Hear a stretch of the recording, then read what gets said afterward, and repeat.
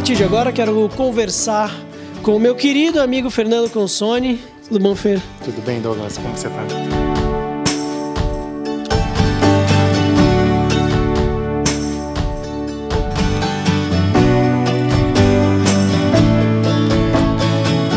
Bom, o Fernando está ingressando na nossa atração, nosso time do Pop Arkstation.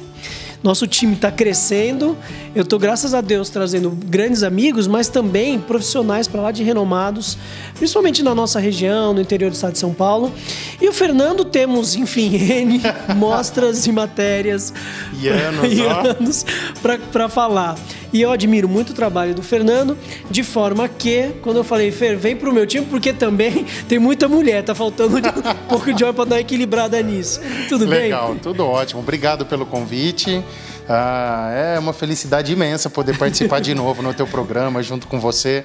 A gente tá junto, como você mesmo falou, a gente já se conhece há muito é, tempo é. e sempre é um prazer estar junto com você. Ô Fer, quanto tempo de, de arquitetura já? 15 anos já. 15 anos, quantas 15 mostras mais ou menos? Foram 10 Campinas Decor é. consecutivas. Né? Eu fiz por 10 anos seguidos, a última que nós fizemos foi em 2016. Uhum. Aí nós fizemos mostra sustentável e mais outras mostras aí, aí. de Campinas e outros lugares. Tá. Você, tem, você quer dizer que você tem mestrado em psicologia, parapsicologia, psiquiatria? Não, não, não, não, não. não eu tenho pós-graduação em administração de oh, empresas. Meu Deus do céu. Tenho MBA em arquitetura de Isso luxo. Já é alguma coisa. Já é alguma coisa. Agora concluí MBA em arquitetura de luxo. E o Caio, meu sócio e eu agora nós vamos ingressar numa especialização em arquitetura para gastronomia, então. arquitetura Como de é restaurantes, espaços ah, gourmet, tá cozinhas e cozinhas industriais. Então a nossa chega até a montagem do prato. Olha, se a gente for unir o Masterchef com a arquitetura, Olha, podemos talvez na inauguração da, da casa fazer até a montagem do prato. Eu, Bom, eu dou aula de design de pratos, né? Então. Eu não sabia. é. Ô, gente, olha, deixa eu falar. Eu, eu, eu ia deixar pro final esse negócio do Masterchef, porque eu tô querendo apresentar meu amigo que é arquiteto, entendeu? Mas aqui, fala um pouquinho logo, porque senão vai ter gente suando aqui. Mas será que vai falar da participação do Masterchef? Porque você cozinha bem, tá, tá tal, foi muito legal. Cara, a participação do Masterchef foi meio que orgânica, assim, né? Já tem é. bastante tempo que eu queria, que eu queria me inscrever. Aí o escritório sempre teve um volume de projetos bacana tal. O Caio, que hoje é meu sócio, é, ele é meu sócio há dois anos, então é. o ano retrasado, quando eu fui fazer a inscrição, ele tinha acabado de se tornar sócio. Aí a gente conversou, achamos melhor que não achamos que não seria o momento de eu sair. Uhum. Né? Aí ano passado já estava bem engrenado, os clientes já o conheciam e ele já estava com bastante traquejo comercial também, né? E falou, bom, agora é hora então. Então vou me inscrever, vamos ver o que, que vai dar. E aí né? deu. Aí foi engraçado que eu estava aqui no escritório quando eu mandei o vídeo. E mandei, acho que era umas três horas da tarde, e logo em seguida me ligaram falando que eu tinha passado para a próxima fase. Uhum. É, a gente, o Caio estava aqui comigo também, a gente ficou até surpreso porque foi muito rápido. Muito rápido. E isso foi ano passado, novembro, né?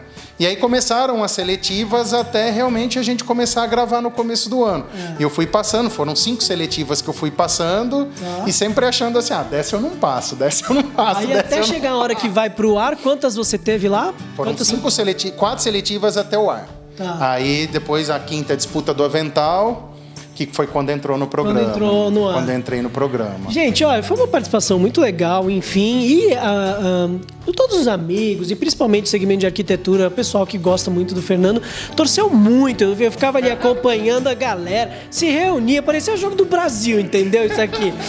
Mas aí me define, se tiver que definir, eu sou um moderno, eu sou um cara isso, eu sou um. Eu gosto de brincar com diversos estilos. Quem que é o Fernando? Agora vai, fala nisso.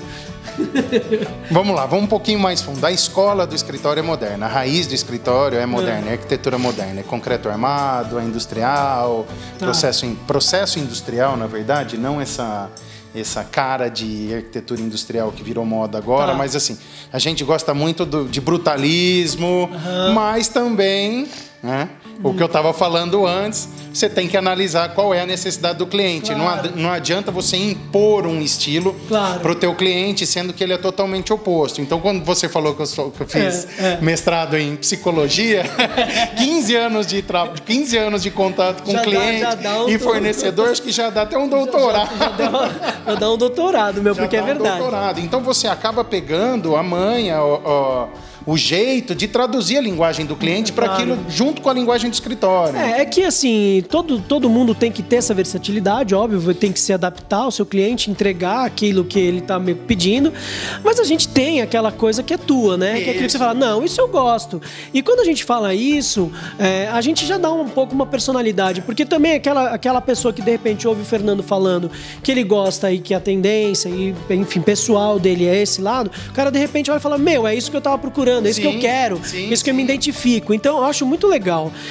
E sempre teve, principalmente nas mostras, o que sempre me chamou a atenção, muita elegância dentro de tudo isso. Não, nada frio, as suas coisas sempre tiveram um, um- um toque legal. Me fala um pouco dessa. Porque às vezes quando você me fala disso, às vezes também muitas pessoas remetem Vão a um- uma. uma arquitetura mais fria. É. né? Não, na verdade é assim, ó, é, a base é neutra. Aham. Que é o quê? O menos é mais, né? É, é. As pessoas não entendem muito isso.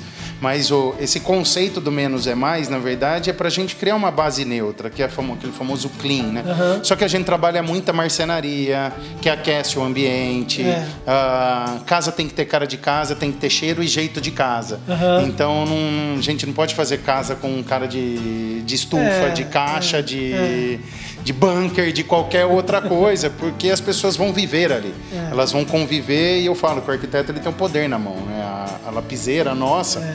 a gente tem o poder de criar harmonia ou desunião numa É, família. é verdade, é Então, ah, nossos projetos, a gente sempre tenta deixar o projeto mais aconchegante possível, o mais quente, não quente em temperatura, óbvio, mas, É, mas o mais sim, quente porque um o projeto calor, um aconchego. abrace, um aconchego. E o que a gente preza muito aqui no escritório é que o que valoriza o espaço cheio é o espaço vazio, né?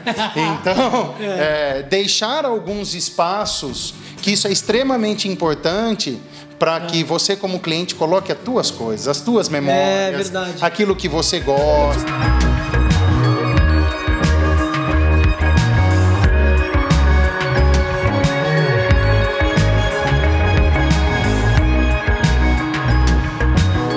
Fê, Isso é muito legal. Obrigado obrigado por você estar aqui junto com a gente. Bom, pelo carinho. que nós vamos escrever uma, uma história, né? Agora. Mais uma. Mais uma, porque fazia já tempo, né? Fazia tempo desde o último Campinas Decor que veio um, um furacão, passou, levou a amostra. Não quero nem lembrar disso, porque foi o último. Mas agora a gente volta com muito mais conteúdo para vocês. Então acompanhem os nossos canais e acompanhem tudo que ele vem fazendo, não só na arquitetura, como hobby, hobby de chefe, de gastronomia e tudo mais, porque vem é, também muita coisa legal por aí, porque ele também é bom nisso, tá bom? Espero que vocês tenham gostado. Ficamos por aqui. Eu volto já já.